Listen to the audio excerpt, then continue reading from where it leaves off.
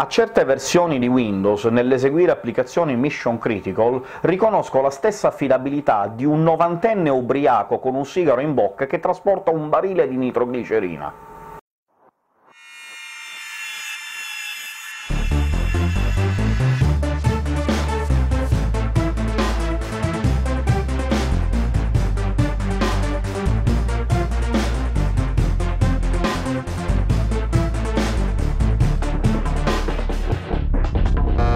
Ciao a tutti, sono Grizzly, il vostro tecnico informatico di fiducia. Molti di voi mi chiamano mago del computer.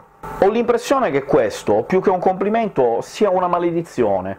Ogni giorno qualcuno mi chiama o passa in lab. Ecco, il computer non funziona da un mese! Ma quando mi chiamate mago, pensate significhi che ho la sfera magica? Come faccio a sapere che non funziona? Se me l'avesse detto 29 giorni fa, probabilmente ora lo saprei anch'io. E magari sarei intervenuto prima, anche. Oppure, se qualcuno avesse la bontà di indicarmi un bravo tecnico della sfera magica, così ogni mattina saprò subito quali computer si guasteranno. Ma forse un po' mago lo sono sul serio. Ehi, riesco a lanciare incantesimi! Come quella volta che mi ricordo a casa del fratello di un mio collega. Ci aveva telefonato per dirci che il computer non si accendeva, muto, proprio come se fosse staccato dalla spina. Arriviamo lì e lui mi accoglie un po' scherzosamente. Mio fratello mi ha detto che sei un mago, ora gli fai un incantesimo? Neanche mi avvicino al computer. Ma certo!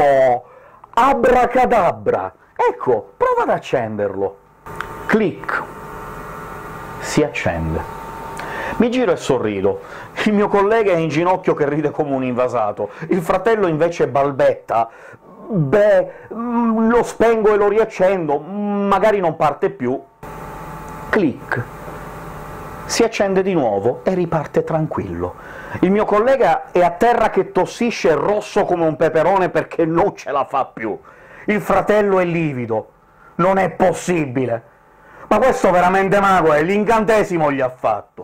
Nah, i miei voti Hogwarts lasciavano un po' a desiderare, eh, altrimenti adesso sarei a leggere i tarocchi in tv per farmi sputtanare da Striscia la Notizia, piuttosto che passare alle giornate riformattando i computer sputtanati dai clienti.